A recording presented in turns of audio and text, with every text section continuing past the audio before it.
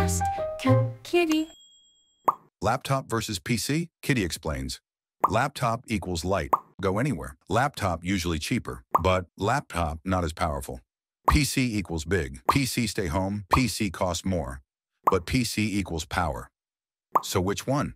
Kitty chooses based on who Kitty is and what Kitty wants to do. Travel a lot? Laptop. Gaming, editing, or building a battle station? PC. How to enter BIOS. Easy. Save this video because you might need this in the future and share so we can help other kittens. Kitty restarts his PC. While it's booting up, Kitty spam the magic key, usually DEL, F2, or F10. Boom, you're in BIOS. Kitty tip, every PC is different, so if F2 doesn't work, Google your motherboard or laptop model plus BIOS key. Just don't change settings if you don't know what you're doing, okay?